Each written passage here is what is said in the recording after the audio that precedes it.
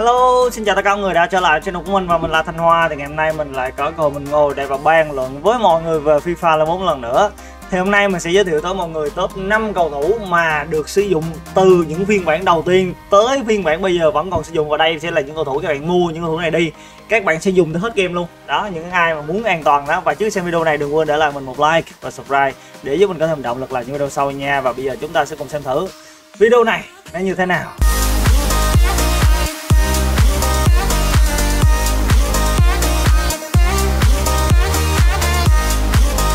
Và đứng thứ năm trong danh sách này đó chính là hậu vệ cánh trái Johan Mojica Hậu Mojica các bạn thể sử dụng mùa giải TB này hoặc là mùa giải 22 like cũng được. Hai mùa này đều có thể sử dụng từ những mùa giải đầu tiên của Pha 4 và tới bây giờ vẫn còn nhiều người sử dụng nha. Đây là cũng nhìn là có vẻ số thấp đúng không?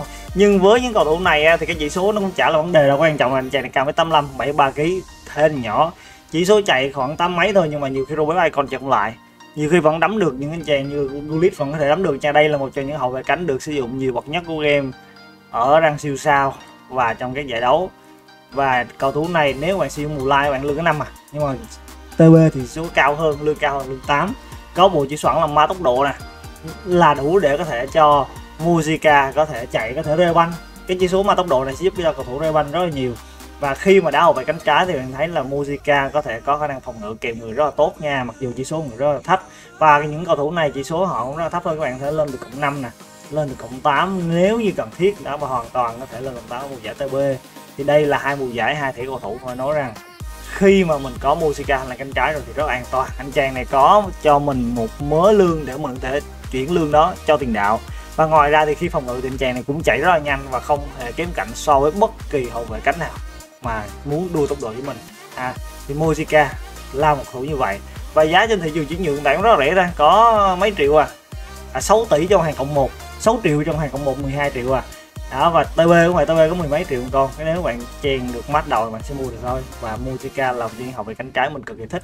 Đội hình của mình thì hiện tại mình cũng đang có Musica ha à, có Musica ở đây đó, Musica TB luôn này Musica Blue mình đều có sẵn hết. Và đứng thứ tư trên cái sách này đó là một thủ môn cũng đã xuất hiện từ cái phiên bản đầu tiên của FIFA 4 và tới bây giờ vẫn không thay đổi nha vẫn là cầu thủ đó vẫn là mùa giải đó đó chính là Nick Bop Nick Bop đặc biệt là Nick Bop mùa lai Nick Bop TB thì ít ra dùng nha nhưng mà Nick Bop mùa lai thì rất là nhiều người dùng. Nick Bop TB hồi xưa là có mét chín mấy thôi nhưng mà bây giờ người ta chỉnh lại thành hai mét rồi. Đó, và Nick Bop mùa lai chắc chắn là từ những phiên bản đầu tiên tới bây giờ vẫn còn dùng nha và đúng là duy nhất mùa lai thôi không sử dụng mùa nào khác.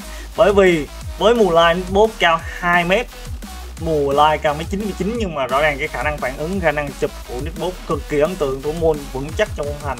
Của hầu hết những anh chàng nào muốn đi theo con đường chuyên nghiệp, muốn có những trận đấu trong xếp hạng hay muốn có một cái đội hình mà ở hàng tấn công, đều là những cầu thủ icon hay đều là những icon của mình, đều là những cầu thủ tốt.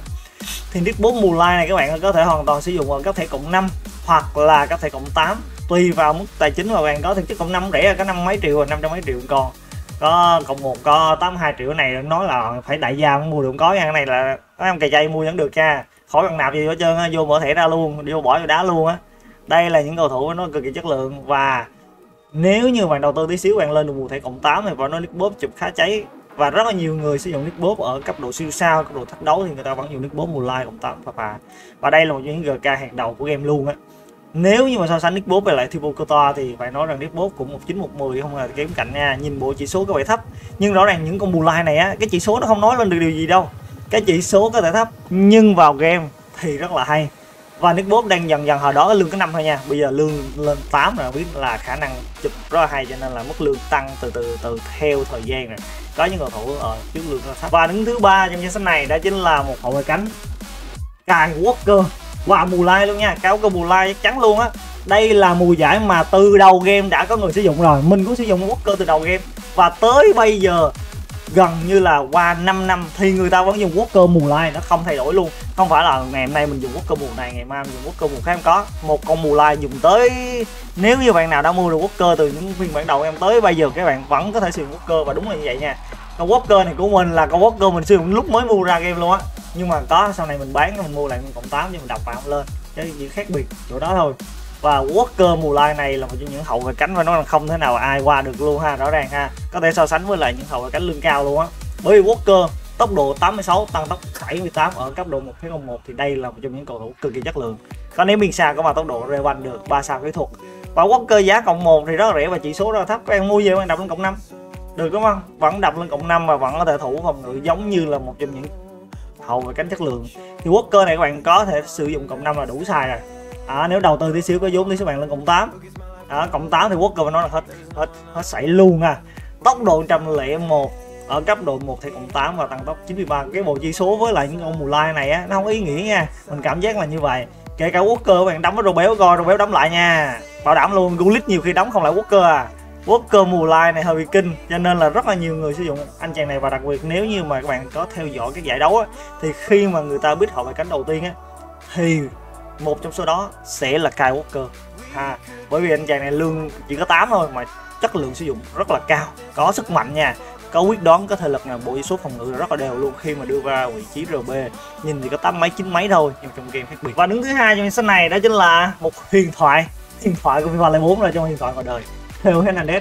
Mà chúng ta thường hay gọi vui đó chính là Theo Hernandez icon đó và cái mùa giải mà sử dụng phải nói là đến cuối game luôn các bạn sẽ chả cần phải quan tâm rằng à, mình sẽ phải thay đổi một cầu thủ khác đâu đến giờ Theo Hernandez mùa lai rõ ràng. Con Theo Hernandez mùa lai này thì là một trong những hậu vệ cánh và nói chất lượng nhất game luôn kể cả những con hàng mà hậu vệ cánh lương cao nếu như so sánh với lại Theo Hernandez thì cũng rất là khó đem so sánh nha.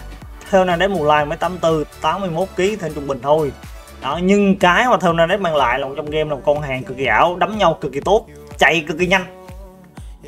Tốc độ 86 tăng tốc 80 nếu như các bạn chỉ cần có Theo Hernandez cộng một rồi bảo đảm các bạn chạy vẫn nhanh như các lốt rồi đó. Chạy phà phà luôn nhanh như là so Min luôn á chứ. Đấm nhau so Min đấm không lại chắc chắn là so Min sẽ không bao giờ đấm lại theo Nandet luôn trong một số trường hợp. Nếu như mà các bạn để ý à, tôi đã đá theo Nandet rất là nhiều nhưng mà sau này có một thời gian theo Nandet mình ít khi sử dụng đi bởi vì anh chàng lương tới 10 hồi đó theo Nandet lương cái năm thôi mà bây giờ tăng lên tới 10 lương rồi sắp tới mình nghĩ sẽ còn tăng nữa thì mình thấy là cái khả năng của theo Nandet được rất là nhiều người sử dụng ưa chuộng ha. Thì không biết tại sao lại tăng lương lên chi trên uổng ha.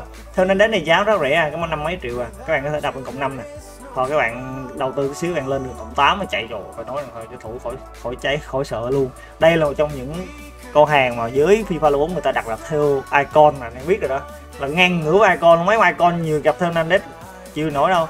Theo ghê lắm và đây là mùa giải mà theo đã sử dụng từ đầu game tới cuối game nha, không thay đổi vào bất kỳ mùa giải nào. Theo GR nhưng mà nhiều khi cũng không bằng theo Nandet mùa lai đâu. Theo Nandet mùa lai mới đúng là những gì mà theo mang lại cho FIFA 04 và đứng đầu danh sách này, đó chính là một trong những cầu thủ mà được ưa thích và được lựa chọn nhiều nhất kể từ FIFA 3 chứ đừng nói là FIFA 4 từ FIFA 3 tới bây giờ mà vẫn được sử dụng nha.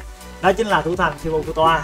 Và nó là Courtois là một trong những GK chất lượng nhất ha, của FIFA 4 và của FIFA 3 nữa hồi xưa á, và bây giờ mà vẫn còn sử dụng phải nói cả độ hot của Courtois thì lúc mới ra game Courtois mùa lai, chỉ lương chỉ có 7 hoặc 8 mình nhớ là vậy. Nhưng mà bây giờ lên, lương tới 11 rồi, đây cũng là cái trở ngại nhưng mà không sao, càng ngày thì mức lương tổng càng tăng lên nhiều thì Thibaut Courtois lại được sử dụng rất là rộng rãi. Và Thibaut Courtois là ca cao mấy 99 96 kg thì nhỏ. Và cái mà anh chàng có được chính là cái khả năng bắt bóng phải nói rằng ảo ha nếu như bạn nào đã từng dùng Courtois các bạn biết ngay hoặc nếu như bạn nào đã từng đối đầu với lại đối phương mà có Thibaut Courtois các bạn sẽ thấy. Nhìn bộ số tắm mấy rồi, đúng không? Nhưng mà đối với ông mùa này, các bạn đừng coi chỉ số. Quan coi chiều cao với lại cân nặng là thế nhỏ trong game nó như thế nào là tay cái dài không là đủ rồi. Chỉ soạn thủ môn ném xa, thủ môn cản tài bóng phải nói cái ném xa này cái làm cho cô to cũng trở nên đặc biệt nha. Nếu như bạn nào để ông ông cô to ném xa nha. Ném từ gôn này qua tới gần dòng cấm gôn kia luôn á. Nếu như là cầu thủ bạn đứng ở mức đó, cực kỳ xa và càng về sau thì à, có thêm mấy huấn luyện viên, gọi là phát bóng thì cu to ném phải nói là tới gôn kia luôn đó chứ. Và nếu như mà đầu tư tí xíu bạn có thể hoàn toàn có được cu to cộng một và có được toa cộng 5 giá rẻ mấy chục triệu à. Đã lên được cộng 8 nếu như cần thiết nữa thì cộng 8 thì toa nó quá cháy rồi. Đây là một trong những GK được bích đầu tiên của tất cả các giải đấu EAC này giải đấu quốc tế này. đây là GK được bích đầu tiên nha là các bạn thấy độ hot rồi đó. Khi mà người ta biết GK chắc chắn người ta biết Kuto mùa lai đầu tiên. Người ta không biết uh, Wandersa đâu mà Kuto sẽ là người biết bởi vì đây là một trong những GK mang lại cái giá trị an toàn và mức lương quá hợp lý. Và đó là top 5 cầu thủ được sử dụng xuyên suốt từ phiên bản đầu tiên tới phiên bản cuối cùng. Còn nghĩ là những cầu thủ này họ sẽ sử dụng đến hết cái game FIFA 4 này luôn đến khi nào game không còn nữa nhưng mà mấy này vẫn còn á. Đó và dĩ nhiên sẽ còn rất nhiều cầu thủ khác nữa mà chúng ta có thể sử dụng hết game các bạn thể comment phía dưới phần bình luận á. Và đừng quên để lại mình một like và subscribe để giúp mình có thêm động lực làm những video sau nha. Và một lần nữa, cảm ơn mọi người rất là nhiều luôn vì đã xem video này của mình. Xin chào và hẹn gặp lại!